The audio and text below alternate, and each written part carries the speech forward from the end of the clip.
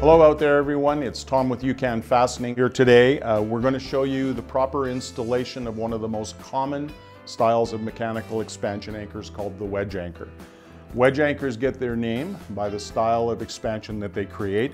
They have an expansion clip at the bottom of the anchor and it creates force against the surrounding concrete. The way that we install this type of anchor is critically important. We want to make sure that when we're installing we have the nut flush with the top of the stud of the anchor.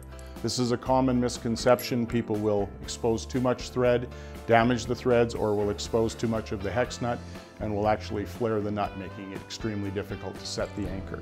One of the critical components is to make sure that you drill a good quality pilot hole for your anchor. Any drill bit that has an ANSI designation is your guarantee that you're going to get close tolerance, which is what we want with a mechanical expansion anchor. Once we're ready to fasten and our hole's been prepared, we put our fixture typically in place over the hole, install our wedge anchor by putting it into the hole. It will hang up on the hole because the clip is slightly larger and that's a good sign. Then with our mechanical hammer, pound it in.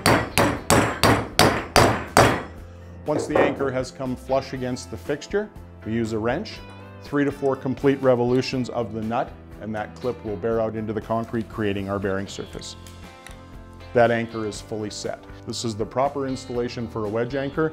A wedge anchor creates expansion against the concrete. This is not your first choice in applications where you're close to an edge because this anchor does exert force out in the concrete.